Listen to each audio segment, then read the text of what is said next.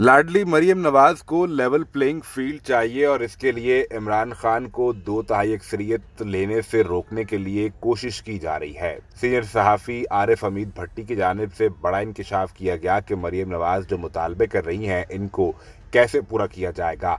मरियम नवाज़ ने मुतालबा किया कि सजीलियन माफिया और गॉड फादर के अल्फाज वापस लेना होंगे। नवाज़ शरीफ से ज्यादती हुई इसको रोल बैक करना होगा। जिस पर सीनियर सहाफ़ी और तजयकार आरिफ हमीद भट्टी ने इंकशाफ किया कि ये लोग इलेक्शन लूज कर चुके हैं। अब अहम तरीन हलकों में ये बातें चल रही हैं कि इमरान खान इलेक्शन तो जीत जाएँगे, ताहम उन्हें दो तहाई अक्सरियत लेने से कैसे रोकना है? प्रोग्राम में बात करते हुए सीनियर तजियाकार आरिफ अमीद भट्टी ने कहा कि चंद रोज कबल एक मुलाकात हुई जिसमें मरियम नवाज़ शरीफ ने कहा कि मैं चाहती हूँ मार्च के महीने में इमरान खान जेल के अंदर हूँ।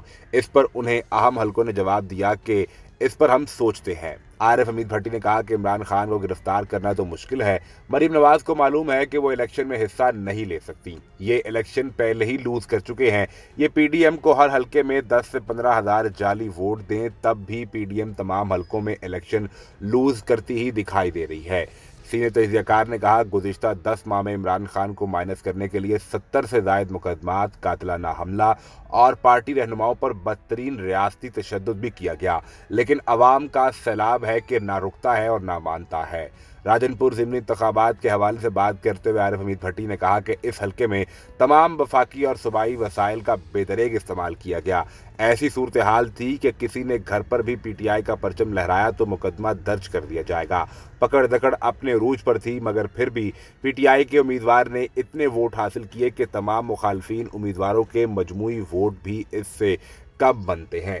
राजनपुर के जिमनी इलेक्शन ने एक बार फिर मरीम नवाज़ को ये बता दिया है कि ये लोग इलेक्शन के मैदान में नहीं जा सकते। लिहाजा अब इन्होंने फैसला कर लिया है कि बड़ी गेम बनाई जाएगी और मार्च के महीने में इमरान खान को किसी तरीके से पहले गिरफ़्तार करवाया जाएगा और बाद में नाअहल करवाने की कोशिश भी की जाएगी ताकि इमरान खान को यूँ हाथ पाँव बाँध कर एक बार फिर इलेक्शन के मैदान में पीटीआई को उतारा जाए कि इनके पास जीतने का कोई मौका मौजूद ना हो। और अगर मौजूद भी हो तो ये अक्सरियत लेकर अपनी हुकूमत न बना सके। इस हवाले से सियासी तजकारों का ये भी कहना है कि अगर इमरान खान ने अक्सरियत के साथ हुकूमत बना ली तो सबसे मुश्किल वक्त पीडीएम की पार्टियों के लिए आ जाएगा, क्योंकि अब इमरान खान बहुत तेज़ी से काम करेंगे और अपने वो तमाम वादे जो उन्होंने पहले भी किए थे और ख़ास तौर पर एहतसाब का नारा जो इमरान खान गुजशत बाईस साल से लगा रहे हैं, इस पर बहुत तेज़ी से अमल किया जाएगा।